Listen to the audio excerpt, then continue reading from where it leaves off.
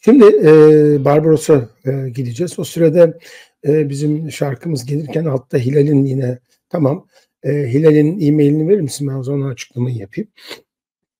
E, Barbaros'u beklerken. Evet, e, askıda bilet isteyenler ya da askıda bilet bağışında bulunmak isteyenler e, Hilal'in e, e-mailine e, gönderebilirler. Şöyle ilginç bir tablo var. Artık elimizde askıda bilet kalmadı. İsteyenler e, yeni bağışçılar geldikçe onlardan e, alabilirler. Bu bir. E, 23'ündeki Adana e, gösterisi için artık e, sahaya çıkabilirsiniz. E, Ankara için de biletler satışa çıktı. Adana ve Ankara'nın dolu olması beni çok mutlu edecek. Şaşırtıcı e, ve güzel bir gösteri sunduğumuzu biliyorum. E, salı günü siz oradan canlı yayın da yapacağız kısacık kulisten. Ne yaptığımızı anlayacaksınız. Ve aslında e, o zaman ya biz böyle olduğunu bilmiyorduk çok eğlenceliymiş yer bulabilir miyiz demeyin. Çünkü hakikaten salı günü mesela yer yok. Ayın 20'si içinde seanslardan biri dolmak üzere e, dostlarımızın bir an önce e, bizim aramıza katılmasını ve bir an önce e, biletlerini almasını bizim de buradan aldığımız güçle daha yoğun bu işi götürebilme e, çabamız olacağını sizle paylaşmak isterim. E, çünkü hakikaten e, bu sene ben e, iki hafta onunla ilgili söyleyeyim. Çok oyun izledim. Dün akşam da e, izledim. Beğendiğim ve beğenmediğim e, oyunları size tek tek söyleyeyim. Beyhan oradaysa e, o da not alsın bütün bunları. E, şimdi bir e, Cem Özer'in Cem Olmak müzikalini e, seyrettim. Cem Olman'ın Cem Olmak e, müzikali açıkçası e, Cem'in biraz kendisine haksızlık ettiği, şimdi yeniden görmek gerekiyor ilk akşam gördüğüm ama e, niyeti son derece e, iyi. E, Cem'in de çok çabaladığı, e, şeyin e, dansların muazzam e, olduğu üç dansçı kızı kutlarım. E, ancak metni zayıf bulduğum e, ama görselliği iyi düşünülmüş. E, keşke biraz daha e, rejinin ve metnin çalışılmış olsun dediği bir e, işti. Onu e, öyle gördüm. E, şeyi seyrettik. E, ne denir ona? E, Elit'le e, Bülent'i seyrettim. Bülent Emrah'ı seyrettim biliyorsunuz. Oyunu ben beğendim kendi açımdan. E, onun altını çiziyorum. Kalan çok önemli bir oyun söyleyeceğim. Belki de tüm e, hayatım boyunca izlediğim en iyi oyunlardan birisi. E, Barbaros'tan sonra onu da söyleyeceğim. O zaman gönderelim bir dakikalık müziğimizi ve Barbaros'ta dönelim.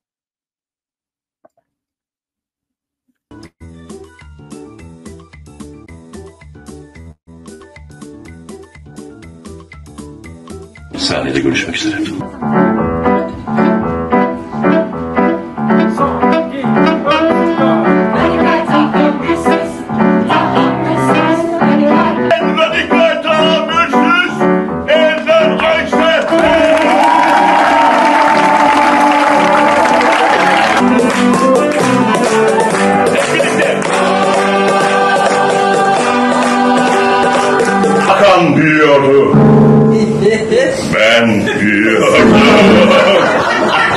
Kulaklarım çıkması şimdi şişman.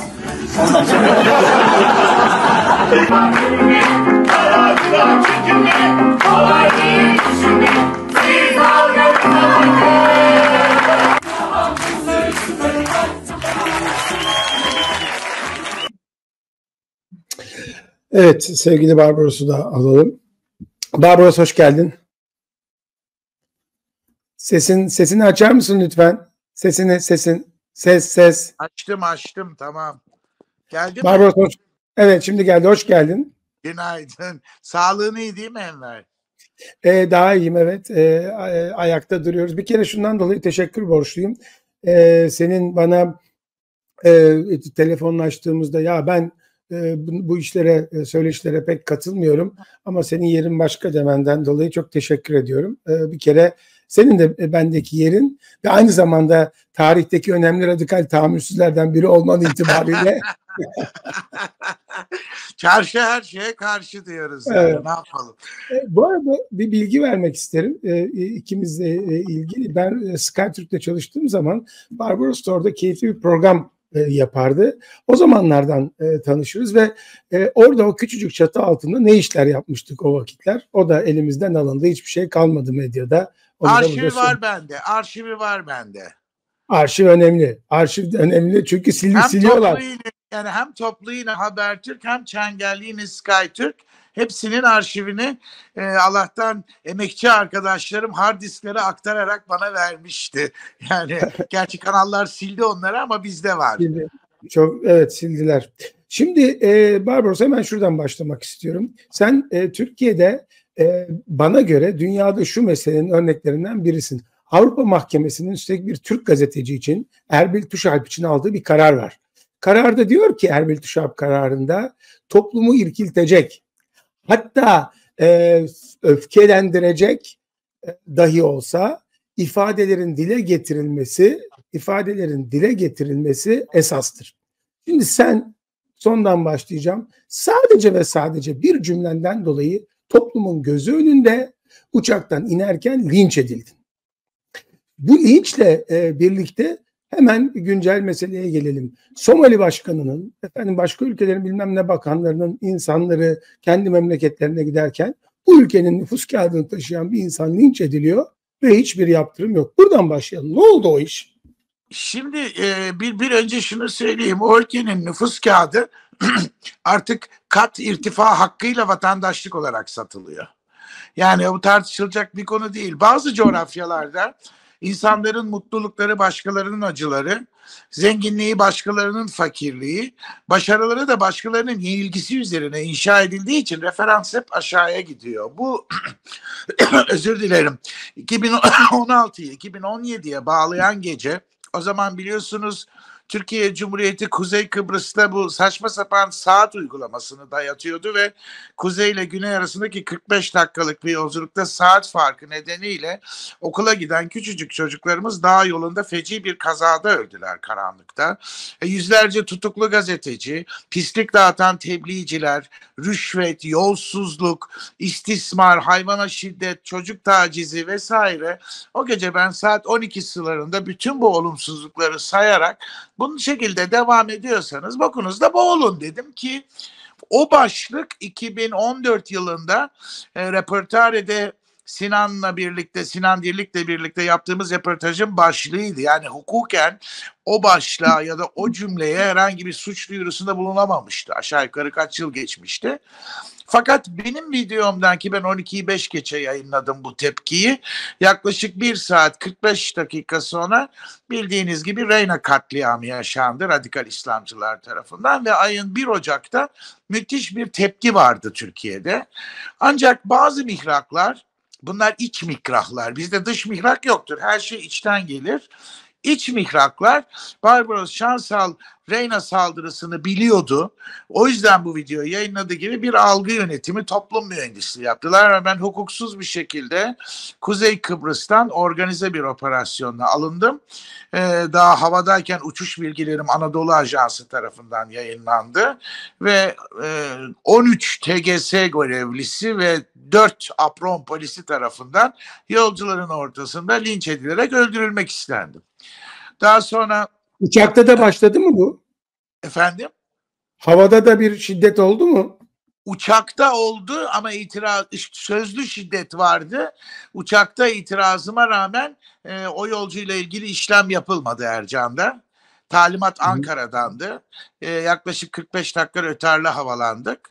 Daha da uzatmak istemedim çünkü 200 yolcu vardı ve yolcuların geç kalarak mağdur olmasını istemedim.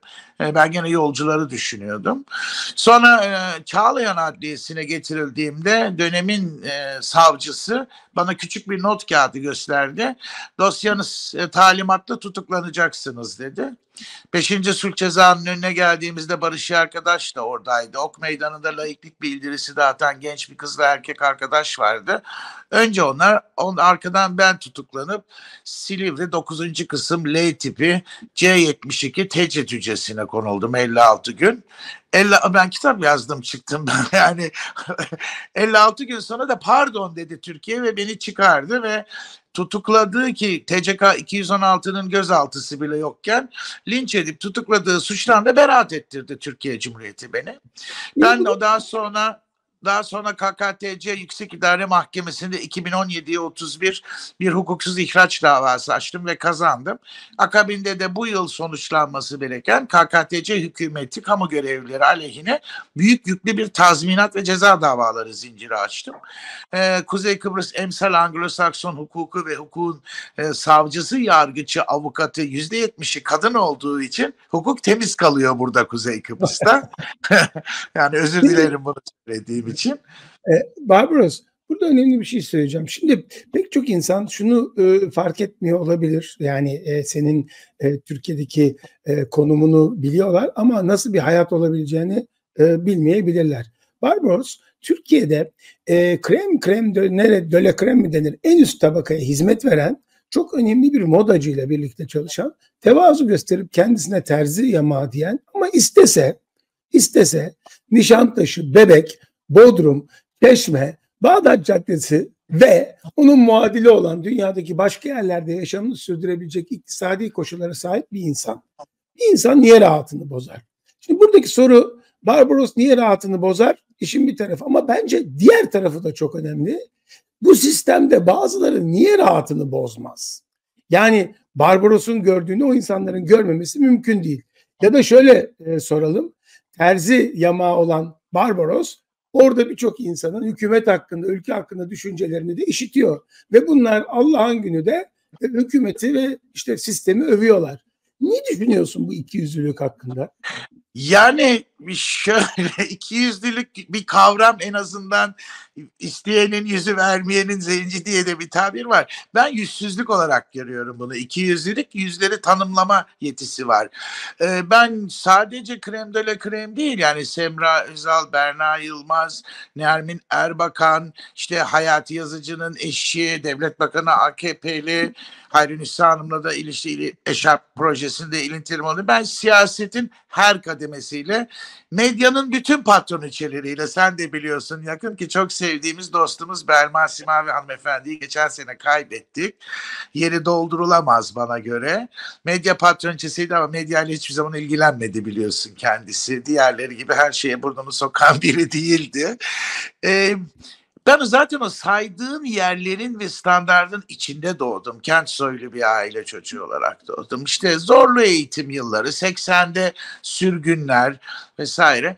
Aslında pisliğin içinde yaşadığınız zaman Güvenç Dağı üstüne o zamanki Oda TV'ye yaptığımız röportajdaki başlık gibi genel evdeki bakire olmayı öğreniyorsunuz. Yani Zor ama.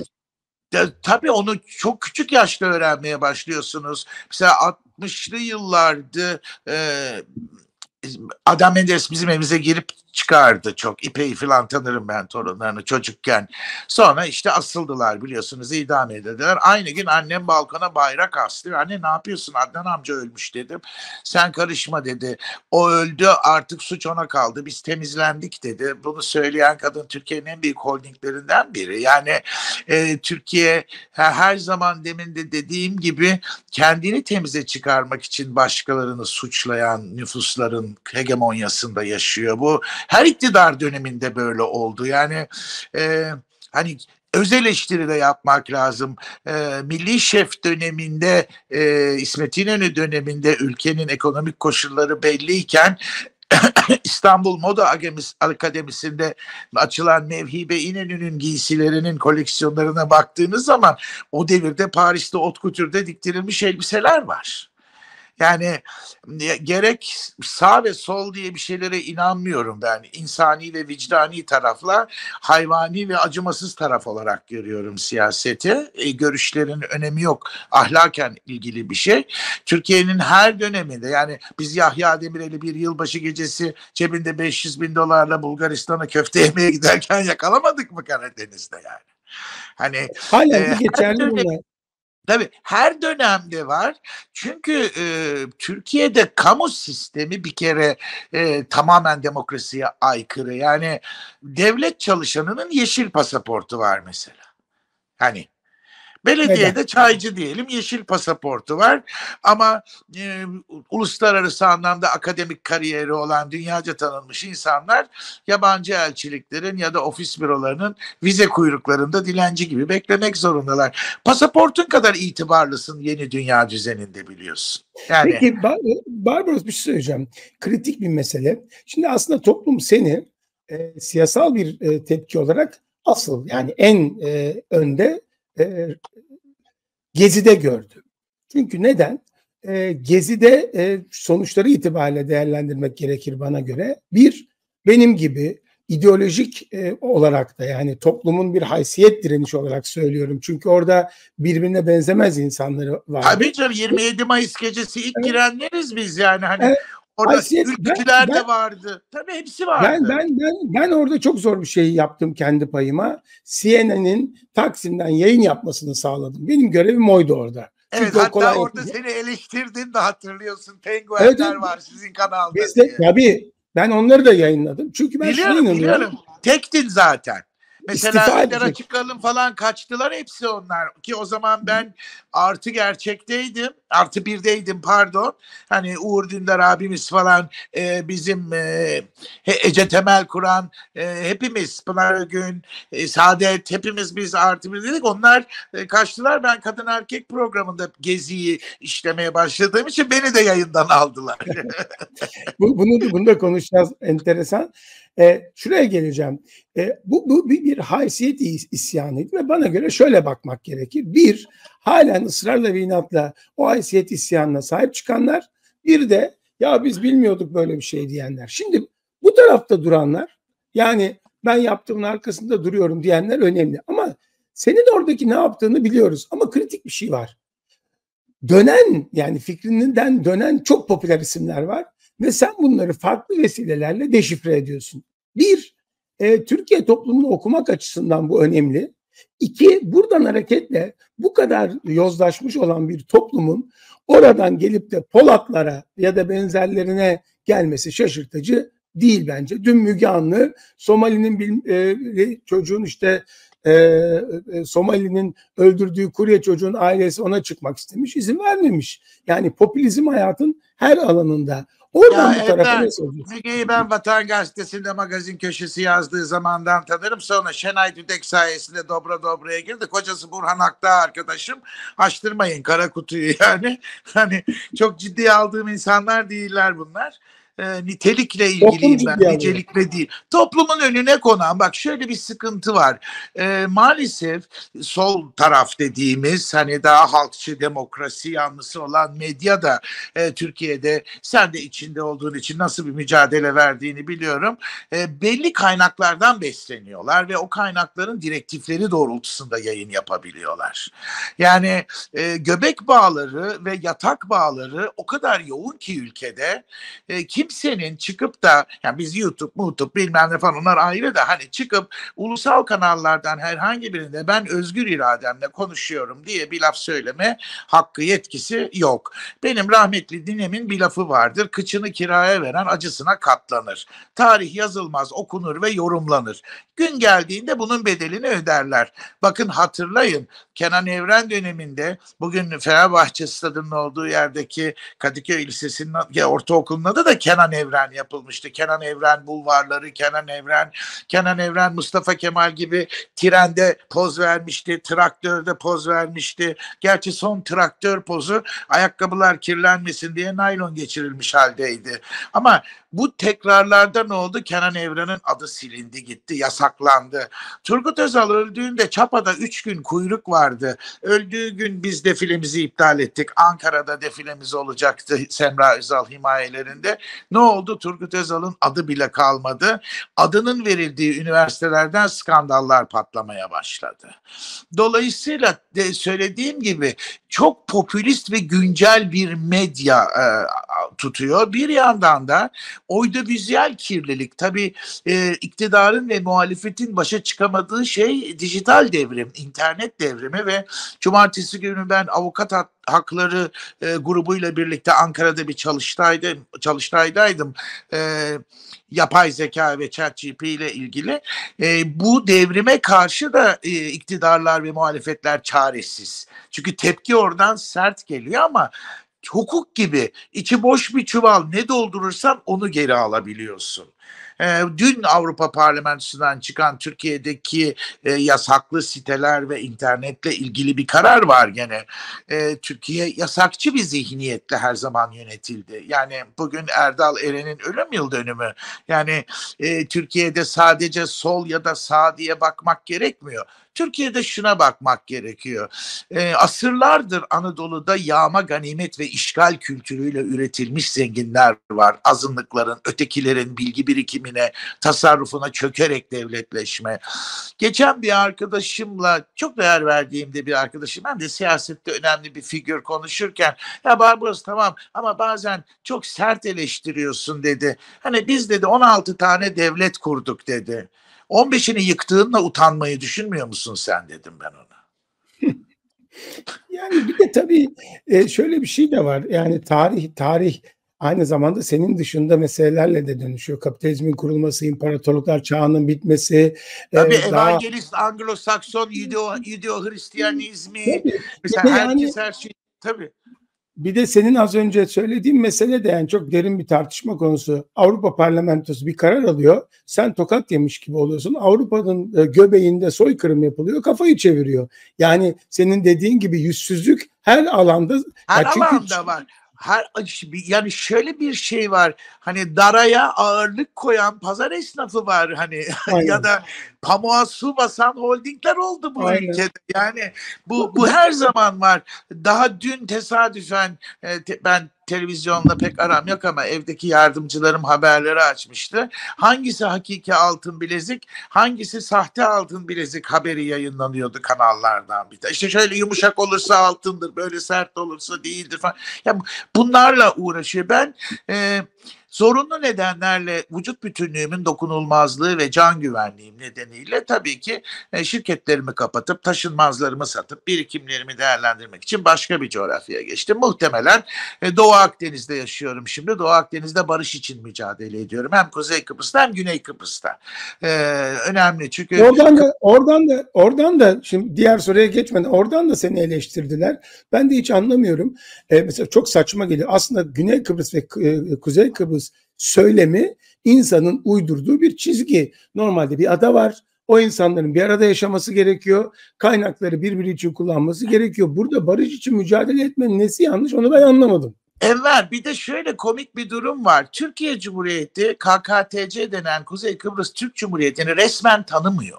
Çünkü Türkiye Cumhuriyeti İngiltere ve Yunanistan'la birlikte Kıbrıs Cumhuriyeti'nin anayasal garantörü. Yani evet, Fenerbahçe evet. Kuzey Kıbrıs'ta maç oynayamıyor ama Larnaka'da Güney Kıbrıs'ta oynuyor. Evet. Ee, mesela Kuzey Kıbrıs'ta satılan Türk malı bir diş macunu 160 lirayken gene aynı diş macunu güneyde 50 liraya satılıyor gümrük birliğinden dolayı. Yani ana vatan, yavru vatan ama yavru üvey evlat burada.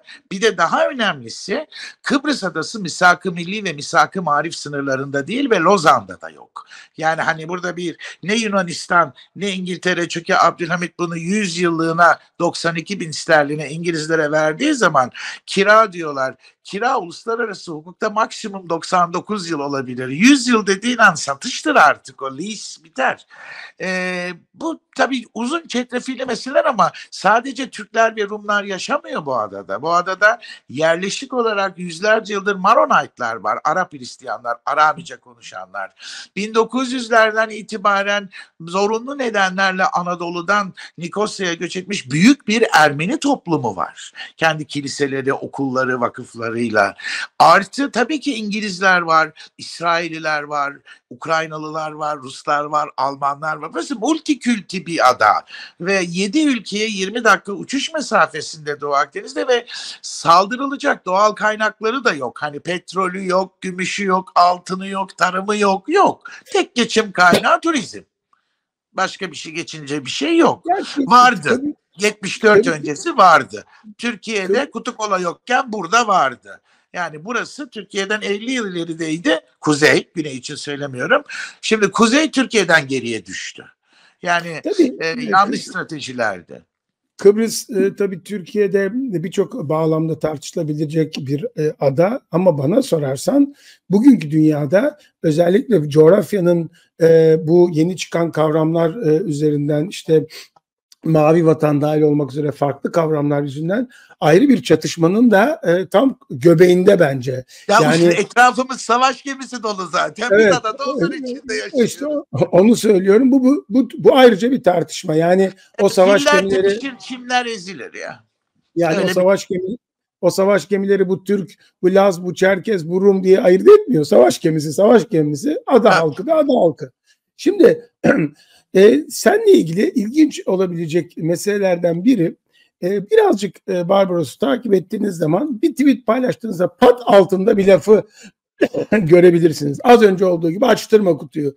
Ya da öyle bir şey söyler ki o yazdığı şeyi siz anlamazsınız ama muhatabı anlar susar geri gider. Bunu, bunu?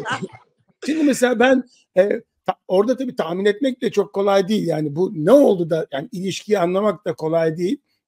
Çünkü sen kulisten konuşuyorsun. Yani e, kastım şu bir şarkıcı ekranda görürsün hatta arkadaş bile olabilirsin röportaj yaparsın ama kulis değildir o. Kulis başka bir şey. Bir bu imaları e, bana bak çeneni kapa diye mi yapıyorsun yoksa gırgır olsun diye mi yapıyorsun? E, bunu önemsiyorum ben açıkçası. Barbaros Pardon geldim geldim pardon. E, iki, iki amaçlı da adamına göre amaçlar biliyorsun. Sesim geliyor değil mi? tabii tabii net net. Evet, iki, iki amaçlı. Bazen adamına göre bazen haddini bil. Bazen de biz biliriz. Beş kişiyiz birbirimizi biliriz muhabbeti. Ee, ben mesela dike dike bugünlere geldim dedim diye 3 ay 20 gün hapis cezası aldım. Yani ben kadın tercisiyim. Mesleğim dikmek. Yani dikmezsem hayatımı nasıl kazanırım? Şimdi e, mizahını kaybeden toplumlar geleceğini kaybediyorlar Enver. Bak bir Akbaba dergisini hatırla, Gırgır, Limon, Fırt, Pırt, en son Leman bile ne hale geldi. Onların yerine daha edebiyata sığınan işte kafa, ot vesaire gibi daha ciddileşmiş e, çünkü baskıların mizaha karşı ayaklanmasıyla ben e, sarkazmı çok seviyorum. Çünkü hayat benimle dalga geçmeden ben onunla dalga geçmezsem mutlu yaşayamam. Hayatımız gen- gezegenimiz, dünyamız yeteri kadar sıkıntılarla karşı karşıya. Ee, Birçok yurttaşımız maalesef sadece eğitim amaçlı değil, görgü, kültür, gelenek ve görenek eksikliğinden dolayı hayatı okuyamıyor. Ee, futbol masi yamokrasi doğuruyor. Çünkü hiçbir şeyi reel değerinde algılayamıyor toplum. Ee, mesela Seda Sayan Türkiye'nin en güvenilir kadını seçilebiliyor. Depremde de yılın yakışıklısı olabiliyor. Mesut Yılmaz'ın dudakları yılın en seksi dudağı seçilebilmişti. İşte Gülben Ergen yılın annesi seçildi falan. Hani ütopik bir ortam görüyorsunuz. Ee, kendi kendilerine beyanatla meslek ifade eden insanlar görüyorsunuz. Öyle değil. Ben bugüne kadar Yıldırım Mayruk'la birlikte olan 35 seneden fazla meslek hayatımda 10 bin kadınla çalıştım. Yani Bir şey soracağım. Çok önemli. Burada hemen bunu kaçırmayalım. Şimdi Yıldırım Mayruk Bey, ben e, o hatırlamaz, sen de hatırlamazsın ama çok yıllar önce sizin o e, niş, Nişantaşı mıydı? Teşvikiye'de, Maçka'daki. Evet, Teşvikiye'deki yere gelip e, bir söyleşi yapmıştım. Söyleşi yapan ben değildim, prodüktördüm. Yıldırım Mayruk Bey'i ilk defa orada gördüm. Sonra bir iki kez daha gördüm. Yıldırım Mayruk şöyle biri. Ağırbaşlı, e, çok fazla öne çıkmaktan hoşlanmayan, hani ağzımdan çıkanı kulağım duysun, bir sırrı e, içimde tutarım falan diyen biri. Barbaros, e, tez canlı, mizah e, yapan, e, zaman zaman kılığı kıyafetiyle de öncü e, görünen, zaman zaman pot kırma ya da hata yapma pahasına risk alan ve toplumun önünde olan biri. Ama çok uzun bir geçmiş e, var. Ve sen hayatta galiba en çok e, Yıldırım Bey'e saygı duyuyorsun. Çünkü ondan söz ederken hiçbir zaman ben e, Yıldırım dediğini falan duymadım. Yıldırım Mayruk Beyefendi e, dersin ve çıraklığını da öngörüyorsun. Bu çelişki gibi duran şey nasıl bir uyumun e, ürünü ve 10 İyi polis kadın. kötü polis. Onun Ha. içindeki serseri benim dışımda, benim içimdeki beyefendi onun dışında. Hı, güzel. Ya Yani Yıldırım Bey-. Yıldırım Bey bak Yıldırım Bey e, susan ama bir laf koyduğu zaman da taşı yediğine oturtan biri. Bir dönemin bir bu bar defileleri başladı falan hatırlarsın. Yani mesleğimizin darbe almaya başladı ama terziler aşağılanıyor. İşte cığlı cığlı işler moda oluyor. Modacılar çıkıyor yani. Hani kerhaneci gibi, siyasetçi gibi, öğrenci gibi cığlı işler. Hani terziliğe karşı bir saldırı. Arkadan baş manken, kıç manken tartışmaları çıktı. O popüler e, Can Tanrıyer dönemleri, az sonralar falan hatırlarsınız. E, bu tartışmanın içine Yıldırım Bey'i de çekmeye çalıştılar bu manken meselesini. Çok güzel bir laf etti. Dedi ki ya manken benim için elbise askısıdır. Tel olanı var, tahta olanı var, kadife olanı var dedi. Güzel. Yani üstattır. O da bizim kurumsalımızın Atatürk'ü. Yani neticede Yıldırım Mayruk Beyefendi 60'lı yılların sonunda bugün Mr. Jazz Oteli tam balık pazarının karşısında ilk atölyesini oranın çatı katına kuruyor. Maksut Varollar, Enver Bakilerin olduğu dönemler üç kata büyüyerek büyüyor. Bir de Yıldırım Bey e, şöyle bir özelliği var. Uzun yıllar e, sıra kızından az soliste kadar sahnelerle çalıştı. İlk tanınması Filiz Akın'a diktiği beyaz jarse elbiseyle. E, tabii biz ben Yıldırım Bey'le meslek hayatımda Bedia Muafit, Hamiyet Yüce Ses, e, Sezer Sezin hepsiyle e, Türkan Hanım hala dostum. Bütün bunlarla çalıştım. En son e, ulusal video zamanıydı galiba Türker İnanoğlu'nun. Sibel Can'a dikmedik hazır elbise e, o program için. Biz de aşağıya doğru gitmişiz. Hayır hayır aşağı- o şöyle ilk elbisesi bizimdir. Ee, Seren Serengil'in de az solist olduğunda bizimdir. Ama o dönem farklı. Biz daha sonra sahne çalışmayı kestik. Çünkü para ödenen kadınlar para ödemeyi unutmaya başladılar. Hmm. Sonra Evet, biz bir de aile terzisi olmayı tercih ettik. Yani zarif, iyi bizi tercih eden ailelerle çalışıyoruz. İnsanlar çiçek gibi yetiştirdikleri kızlarını bize gelinlik için teslim ediyorlar. Ee, genelde de erkek tarafı parayı ödüyor gelinlikte gelenek gereği. E, anneanne dikmişiz, anne dikmişiz, torun dikmişiz yani üç nesil. Hiçbir kadın annesinin alışveriş ettiği yeri beğenmez. Gelinlik dediğinizde Türkiye'de Yıldırım Mayruk zaten tek imzadır e, kreasyonda. E, bir servis vermek üzere işletmelerimizde bir hanımefendiyi ağırladığımız zaman biz onun karşı koltuğuna babasını, kocasını ya da abisini, dayısını ayartacak kalitede bir kadını oturtma lüksümüz yok. Seçenek yapacaksınız. Ya kadın satacaksınız ya elbise satacaksınız. Meslek o hale geldi. O Biz zaman bu meslek o zaman bu meslekte e, bu iki seçenekten birini yapanlar da olduğu anlamına mı geliyor? Yani kadın Her meslekte var Allah aşkına. Yani hani gazetecilikte yok mu? Enver içinden geliyorsun yani. Ya e, kuşku ya şunu şunu söylemiyorum. Yani bir safı oynayacak halim yok. Her meslekte var bu. Fakat Her meslekte.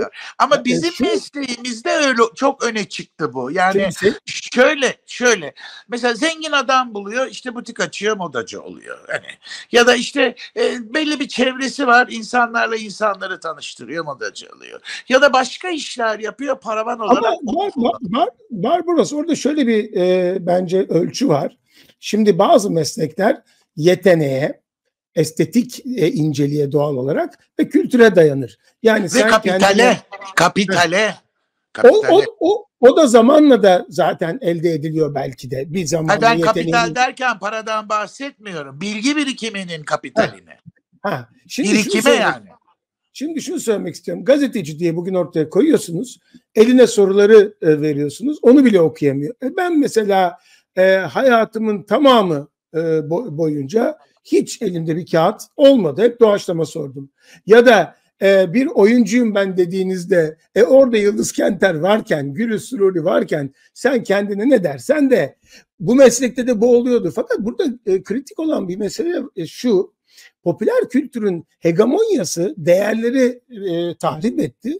Sen bir taraftan da bu değerler adına da sanki birilerine bir dakika sen yani şuna itiraz etmezsin herhalde. Gerçekten kendi gelişen, gerçekten eskiden olduğu yeri unutmadan gelen birisine hep öyle kal demezsin herhalde. Tabii Senin ki de. temel görgüsüzlükle ve e, sahtekarlıkla ilgili mi? Hadsizlik diyelim. Hadsizlik Hı. ülkenin kronik problemi hadsizlik.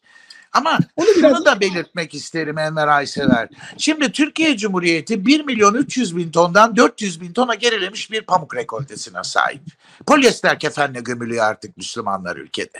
O yüzden cesetler şişiyor, patlıyor. Toprak emmiyor bütün sıvıları. İki, toplu iğnesi yok bu ülkenin. İngiltere'den getirmek zorundayım. Çizgi taşı yok dikiş dikmek için. Her şey dışa bağımlı halde. Sümerbank bitmiş, Merinos bitmiş, Kula bitmiş, terzilik meslek liseleri imha edilmiş, terzilik esnaf ve sanatkarlar odaları kapatılmış, yerine top üniversiteler ve spor salonları yapmış. İşte yani e, meslek aşağılanmış, artık giyinmek yerine soyunmak ve örtünmek arası bir savaş başlamış e, moda adına Türkiye'de. Diğer yandan e, zaten halk evlerine ya da e, köy enstitülerine falan girmeyelim onlar tarih. Kaynak yok, yayın yok, eğitim yok. E, İstanbul Türk Müzikisi Devlet Konservatuarı Nişantaşı'ndaki Rüştü Üzel'in oradaki bir e, giyim sanayicileri derneğine peşkeş çekilmiş. Moda akademisi diye bir şey yapılmış. İçinde kim eğitim veriyor diyoruz bilen yok. Makas tutmayı bilen yok. Yani Bay Vitali'nin e, ışıklar içinde uyusun beraber çalışıp Superfine çikolatayı hazırladığımız yıllar ve armağanı bir lafı vardı. Dikiş biterse moda biter dedi. Yani dikiş laboratuvarı bu işin. Yeni kesimler, kumaşları tanıma, teknikler. Şimdi işin kolayı ben elbise çizdim modacı oldum diye çıkıyorlar ortaya. Zaten aynı şey sadece bizim mesleğimizde değil. Hukukta, mimaride hepsinde görüyorsunuz. Yani fenomen avukatlar, fenomen mimarlar. E, Türkiye'de mimarinin geldiği yeri görüyorsunuz. Alüminyum korkuluklu çakma Fransız balkonlar. Yani e, mesela Peki, Uşak'ta Uşak'ta Gediz'de bir e, TOKİ konut projesi yaptı Roman vatandaşlar için.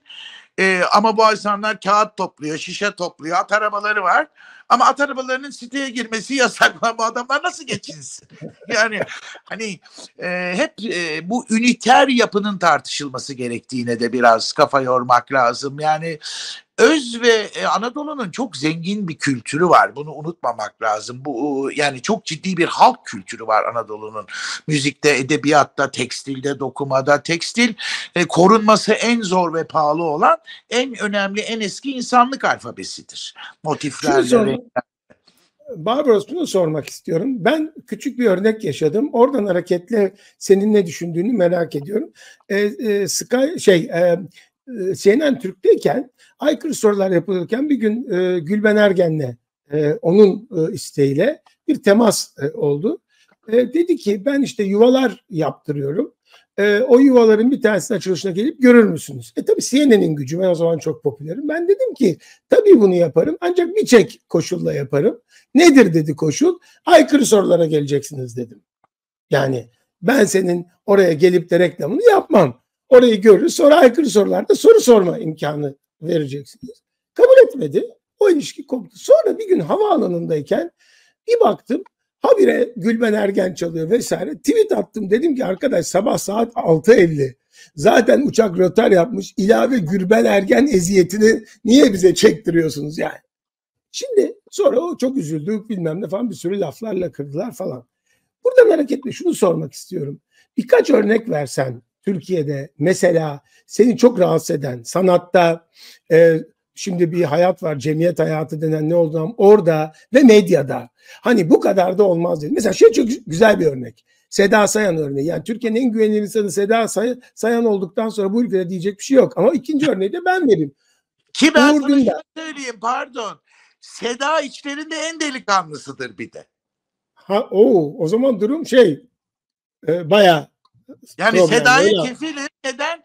Seda kendiyle barışık ne olduğunu bilen, ideallerini bilen ve bir gün e, beni hep ağırladığı zaman kafamdan gül yaprakları yağdırırdı. Ben diz çekerdim. Modanın asi prensi geliyor diye anons ederdi. E, yani Seda bir gün bana kuliste dedi ki Barbaros dedi sana çok imreniyorum. Çıktığın her kapıyı arkandan vurup çıkıyorsun, kapatıyorsun dedi. Sen niye yapmıyorsun Seda dedim. Ben temkinli gitmek zorundayım. Hayatım öyle. Ben çıktığım odanın kapısını açık bırakmalıyım ki bir bir gün ihtiyacım olursa diye korkularım var benim dedi. Ben de dedim ki o zaman önündeki kapıyı kapamalısın yoksa ceryan yapar. Bastı kahkahayı.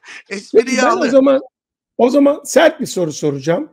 Bu sert e, soru yani seninle ilgili değil ama benim çok canımı sıkmıştı. Yayın da yaptım. Çünkü bu anlatacağım meselenin hiçbir tarafında magazin yok. E, Mehmet Ali Erbil'in işte bir e, kıza tecavüz ettiği, Seda Sayan'ın üstünü örttüğü ya da neyse hatırlıyor musun o hikayeyi?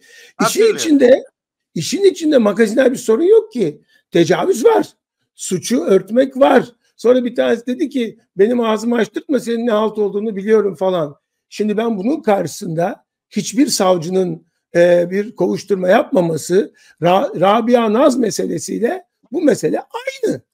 Yani e, tecavüzün ya, Enver, Aydan adanın bakan devirdiği ülkeden bahsediyorsun sen. Yani hani benim annem senin anneni genel evinde görmüş. İlişkiler biraz öyle.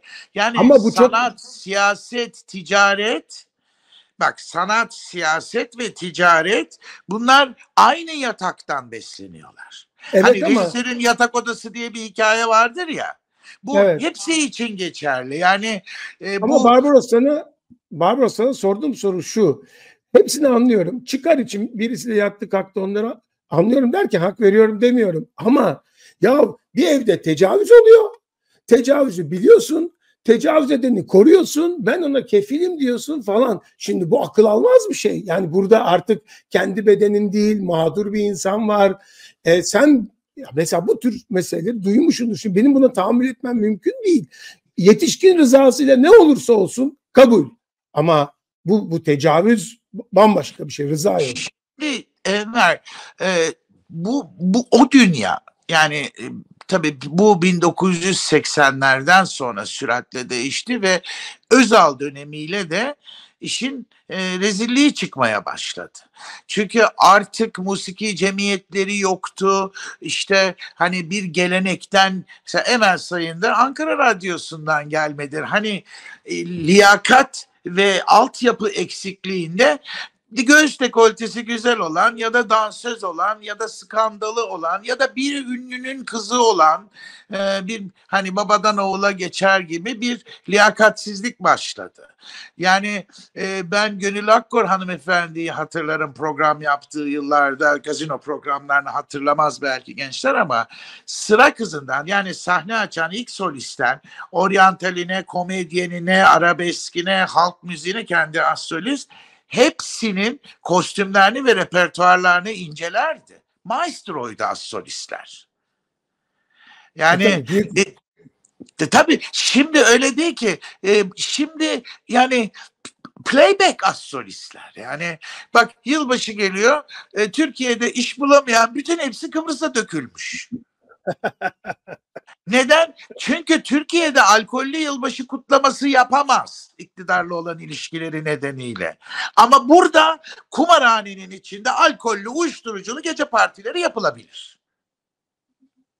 O yüzden de meşruiyet var. meşruiyeti var. Burada yani e, peki ben de bunu söylüyorum. Burada çok ciddi paralar yani bir pop şarkıcısının kaşesi olmuş 500 bin lira 1 milyon lira. Bunların vergileri ödeniyor mu? Ya Kuzey Hayır. Kıbrıs'ta ve Türkiye'de. Yani hani Masak ne yapıyor? Masak mı ne öyle bir şey çıkmış yeni öğreniyorum ben de. Hani bir uyduruk bir meseleden haftalarca Türkiye güzellik merkezlerini konuştu. Yani bu vitrini işi. Şimdi bir Gazze kavgası var. Kimse farkında değil ki Moody'nin yeni ticaret ve baharat yolu yani Mumbai'yi, Dubai'yi, Dubai'yi, Hayfa'ya, Hayfa'yı, Pire'ye, Pire'yi de Hamburg'a bağlayan meselede biz neredeyiz? Niçin Cumhurbaşkanı Atina'da, niçin İsrail Gazze'ye karşı böyle bir operasyona başladı? Doğu Akdeniz'de neler oluyor? Türkiye niye bu büyük yolun dışında? Bunları konuşmak yerine biz cambaza bak, Aa kadın kafasına dolarla bu güdü yaptı. Aa altınlı kahve içti. Yani tavuk kaza iş- bakmış. Yani O iş o kadar masum mu? Ben onun arkasında para aklama, tabii var, kaçakçılığı- tabii var. Olmamasına imkan yok. Masumiyeti hiçbir şekilde Mesela yok. sen o insanları tanır mısın? Ya Hiçbirini çevreyi- tanımam. Hiçbirini. Hiç ilişkim olmadı. Ki benim çevrem yani bu sizin krem de krem dediğiniz genellikle olgun hanımlar ama Paris'te Drey'de yaptırıyorlar vesaire. Yani onlar dünya e, standartlarında işler yapıyorlar. Bu son bir 3-5 senede çıktı ve ben inanıyorum ki e, bu insanlar tabii ki masum değil ama bu atfedilen bu kadar büyük işler ve bu kadar büyük paralar sadece işin vitrini. Ben bunun arkasında başka şeyler olduğunu düşünüyorum. Ben de, ben de aynı kanıyım. Arkada Yani bir ham maddeler e, bu kozmetikte ben farmakoloji ve kimya monopoli bir aileden geliyorum biliyorsun yani hani eczacı bilgim var. Bu ham maddeler konteynerlarla Türkiye'ye ithal edilirken acaba bunların içinde başka şeyleri getirip de bu ham, madde, ham maddeleri bunlara bedava verip bunların böyle zenginleşmesini sağlayıp ateşe atan patronlar mı var? Peki sana e, açık açık konuşu e, açık konuşurken insanın bagajının olmaması gerekir. Şimdi sen e, renkli e, insanlarla, renkli hayatlara tanık olarak belki de içinde bulunarak e, yaşıyorsun. Rahatlıkla birisi sana da aba altından sopa gösterip ya da tehdit edebilir. Her kendi hayatının kendi hayatının tamamına kefil misin? E, yoksa e, ben zaten hayatımdaki hatalarla da barışığım gibi mi düşünüyorsun? Nasıl düşünüyorsun? Ben onların hata olduğunu düşünmüyorum. Hepsi teammüden yapıldı. Ama fakat lakin keşke bilakis kelimeleri terminolojimde yok. O gün öyle hissetmişim, öyle istemişim, öyle yapmışım. Bundan pişman olmak aptallıktır bana göre. İsteyerek yaptığım bir şeydir neticede. Kimse de bana zorla bir şey yaptıramadığına göre bugüne kadar. Ben 65 yaşındayım. İki ihtilal, üç harekat, dört cezaevi gördüm ben yani. Maşallah. Hani maşallah 41 kere. Yani ben e, bagajım yok benim. Kamburlarımı donanım yapmayı öğrendim ben Enver. Onları zımparalayıp toplumla, Söyle. toplumla, toplum, toplumla paylaşmadığın benim için kutsal dediğim bir şey var mı yani? Bir dakika. dolu var Tamam. tabii ki. Var. Toplumla tabii ki paylaşmadım. Bana ait özellerim var. Cinsel Ay, ve o- dinsel. Bak ben out of cupboard bir adamım. Benim yönelimlerim, inançlarım hep açık biliyorsun. Gizli saklım yok. Bugüne kadar benim herhangi biriyle bir işte seks ilişkimi, aşk ilişkimi vesairem hani bütün kameraların önünde, ekranların içinde yaşayan adamım. Binlerce kişinin karşısında sahneye çıkan adamım. Bugüne kadar benle ilgili böyle bir iddia bile var mı? Yok. Özel hayatım ve inanç sistemim bana aittir. Onları paylaşmam kamuyla. Oralardan yani, Varlığımı, pa- varlığımı paylaşmam. Yani oralardan seni vurmaya kalkarlar mı anlamında sordum. İlk önce Ee, zaten Okan Bayülgen de ben dedim. Kimse bana ne diyemedi. Ben kendime söyledim. Bitti gitti kapandı konu yani. Anladın? Delikanlılık gösterdim yani. Keşke herkes benim kadar delikanlı olsa. Net. Şimdi cins, insanın cinsel yönelim olarak bir e, e, yönelimi olması e, argo olarak tarif edilebileceği gibi e, aslında tam tersi de söz konusu. Yani cinsel yönelim insanın kişiliğinin e, ölçüsü. Parçası. Ki, e, e, ne yapacaksın yani e, öyle e, yaşıyor bir insan ama bu dürüstlüğüne vicdanına engel değil. Dolayısıyla bunu bir kusur İbadetine gibi de e, engel değil. inancına da değil. engel değil. Yani değil, evet. e, eğitimine de engel değil. Bir kere yaşam hakkına engel değil. Yani Ya bu- sen ve anayasal güvence altında bunlar ama şöyledir cambaza bak düşman yarat kamuoyunun ilgisini diğer yana çek işte bir gün bu topraklar bir gün Aleviler olur bir gün LGBT olur son günlerde sokak hayvanları her gün bir hedef çıkarırlar malı götürenler Bana- aşağıdan Bana aşağıdan. gelen bana e, bana çelişki gibi görünen şey ne biliyor musun? Şimdi mesela e, Zeki Müren Bey Türkiye'nin e, sanat güneşi denir. Bana göre Paşası, e, Kılıç- paşa tanırdım şahsen Paşa. iyi dostumdu. paşa paşası denir. E, ona saygı duyarsınız. Cinsel yöneliminin ne olduğu ayrı mesele ama kılık, kıyafet, durum ya da e, Bülent Ersoy, e, Bülent Hanım e, deniyor kendisine. O öyle e, şey tarif ediyor. Ama o varlıklı, şöhretli, popüler onu seviyor ama komşusu bir transseksüel, e, travesti hatta gay olduğunu yani eşcinsel olduğunu bilse bunu istemiyor. Şimdi Ama bu çok önce şey. kullanıyor. Önce kullanıyor. Sonra Hı hı. ifşa edip burun kahve ediyor. Önce kendi Demek- faydalanıyor bundan. Cinsel Yani olarak bugün- faydalanıyor? Tabii ki faydalanıyor. Siz bugün Türkiye'de bu kadar bağırıyorlar, çağırıyorlar. Siz akşamları mendireklerde, kasabanın, bucağın e, belediye parklarında ya da nahiyelerin etrafında e, burada gece yarısı oturan banklarda oturan erkekler birbirlerinden iğne oyası tarifi almıyorlar ki. Kalabalık otobüs hem de öğrencilik yaptın metropol şehirlerde minibüse otobüse bindin. Hiç Yani. mi denk gelmedi taciz eden? Yani hani bu her zaman bu top, bu insanların yüzde yedilik alfa ve e, delta heteroseksüelizm kalan yüzde 84'ün öğrenilen, söyletilen ve gösterilenle idare edileni bir de çifte standart yani Hande Kader İstiklal Caddesi'nde tazikli suyla yerde sürüklenirken Bülent Ersoy hanımefendi mübarek Ramazan'da Allah'ın adıyla Fatiha vesaire okuyarak e, külliyede iftar açabiliyor. Yani hani bu Bence neye çok- göre neye Bak, göre bu- kime bunu- göre? Ben bunu her yayınımda e, yani Tele1'de de e, yaptığım yayınlarda da Halk TV'de de CNN'de de söyledim. Bu bana çok e, terbiyesizce geliyor. İki açıdan hem e, orada da garibanı eziyorsun, dövüyorsun, sövüyorsun. Orada da güçlüden yanasın. Tanrı'yı alet ediyorsun. O da başka bir şey. Yani Tanrı bunu makbul saymaz, bunu makbul sayar. Sen karar veriyorsun ama üçüncü bir şey var. Bence asıl mesele bu. Ben daha Bülent Ersoy'un ağzından cinsel yönelimi farklı olan insanlara dair bir tane cümle kur, kurduğunu duymadım. Asıl Benim bence sorun 45 o. 40 yıldan fazla tanıyorum ben. Göztepe'de Demokrasi Parkı oldu. Şimdi futbol sahası vardı. Benden Ben 4-5 yaş büyüktür Bülent. Biz oraya o zaman erkekler mini şortla futbol oynuyordu. Çok güzel günlerdi. Şimdiki gibi dizine kadar değildi şortlar. En azından bacakları görebiliyorduk. Oralara takılırdık. Yani o zaman Cengiz Özer vardı onun arkadaşı. O da sonradan Bacak? Nergis Özer oldu. Öyle işte- mi? Evet, o da sonradan Nergis Özer oldu. Şimdi Bacak Tekirdağ- görmek için mi gidiyordunuz oraya? Ya işte hep anla yani ne demek istediğimi. Sen Hayır, de zorlama yani. Hani e, şimdi bugün de bir haber okudum. Kız kız voleybol maçlarının işte izleyicilerine erkekler alınmayacakmış falan. Yani hani Tamam o şeyi tanırım. Çok da çalıştık da hatta bir iki kere mahkemelik olduk bile. En sonunda kavga bile ettik televizyonlarda. Çok, çok annesi rahmetli Necla Hanım'ı da tanırım. Ee, Bülent ayrı bir mevzu. Ee, çok uzun yıllarımız var. Ee, ben Bülent'i tasvip etmiyorum. Ee, hiçbir zaman bunca yıl tanışmamız rağmen birbirimizi çok sevemedik biz. Ee, çünkü çok farklı bakıyoruz hayata ve dünyalara. Ee, ben daha e, insani yönü yüksek biriyim vicdanen. O benim gibi değil.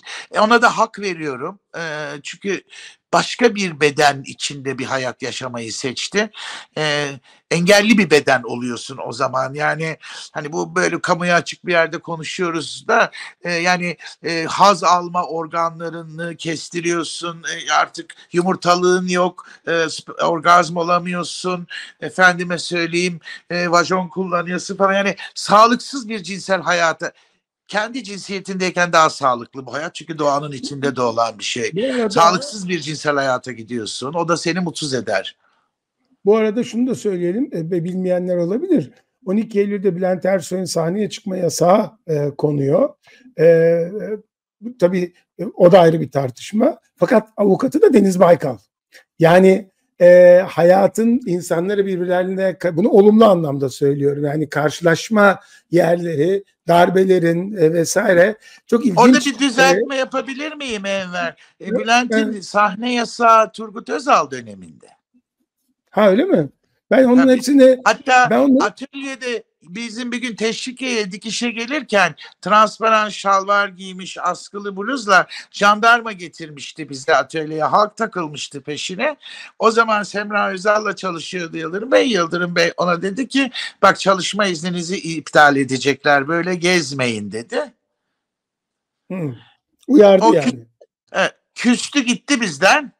E, sonra e, Mualla Hanım'a gitti. E, Mualla Hanım da kadın elbiseleri vermeyi tercih etti falan. Hikaye öyle. E, tabii geçmiş zaman. E, haksızlıktır tabii çalışma izni ama Güngör Bayrak da içinde don yok diye hapse atıldı İzmir'de. Halbuki elbisenin donu vardı. Elbise bizim diye. Ahu Tuğba e, çalışma izni yok. Çünkü o yıllarda e, sahneye alkollü yerlerde ya da sahneye kamuya açık yerlerde sahneye çıkan kadınlar aynen genel ev kadınları gibi Evet. gittikleri ilde çalışma karnesi almak zorundaydı. Tiyatrocular da öyleydi.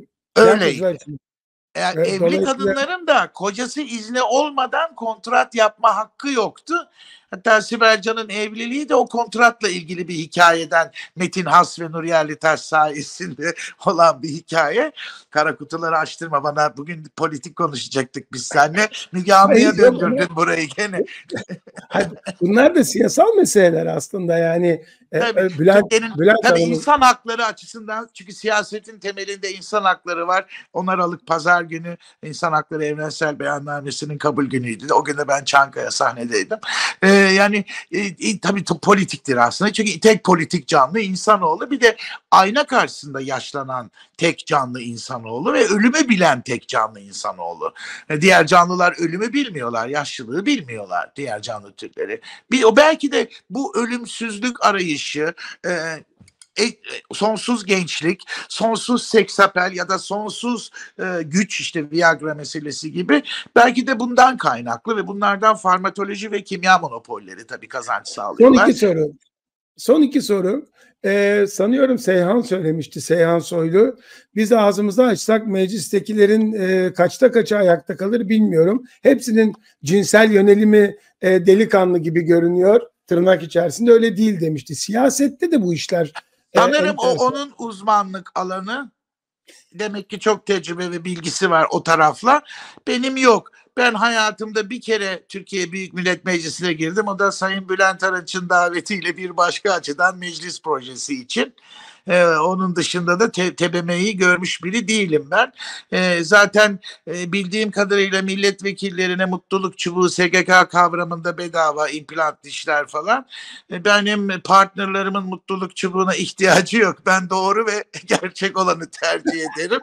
Onu Seyhan'a sorun kimler. Ben bilmiyorum gerçekten. Ben tabii Peki. Se- Seyhan, Seyhan'ın alanında kim olduğunu değil de siyasette de böyle bir e, ikiyüzlülük ya da yüzsüzlük var anlamında. Var her yerde var. Evet. Sen de bak e, isim tabii veremem ama hani en mütasip kanalda şu an sunuculuk yapan eşcinsel arkadaşlarımız var. Yani hani var her yerde var. Bunu zaten eşcinsel, düzcinsel, eğricinsel falan diye ayırmamak lazım. O zaman biz de şöyle mi bakalım? Aa zavallı heteroseksüel mi diyelim yani?